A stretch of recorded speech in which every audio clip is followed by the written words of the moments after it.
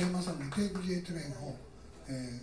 最後のテーマのブリッジの部分に挟み込んだこの素晴らしい編曲はドン・グロールニックというピアニストの編曲です、えー、さて次にフレディ・ハーバートの曲をこのバンドの編曲に合わせた編曲でお届けしたいと思いますが曲は「スカイダイブ」という曲で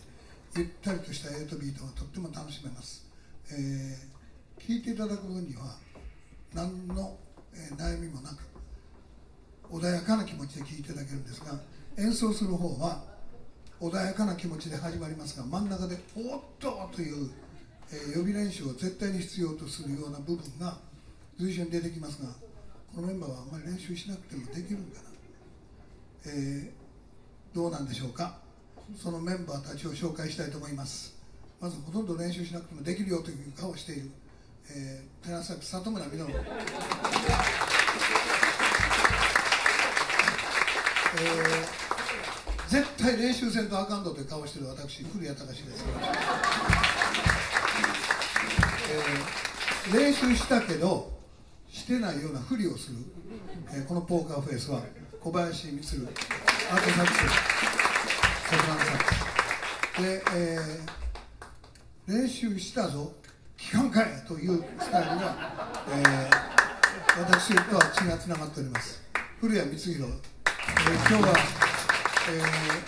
え、うち中にあるテナあのサクソフォンのうち、えー、あとあと2種類今置いてきてますが、えー、それはアルトとソプラニーノという楽器ですけれども、えー、とりあえずテナバリトンソプラノサックスを今日は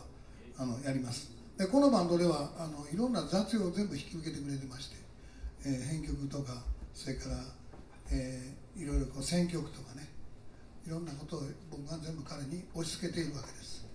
それは血がつながっている以上しょうがないということであります。でその後ろ素晴らしいドラマ梶原大志郎、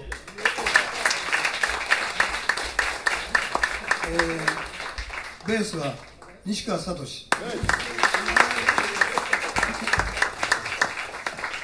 えー、素晴らしいピアニスト。曽田治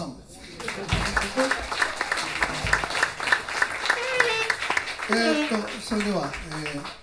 練習の成果はどうなんでしょうか、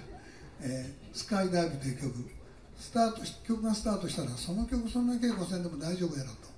まあ、皆さん思っていただければこちらの演奏はリラックスしているということで、えー、目的を出しているというふうに我々は思います。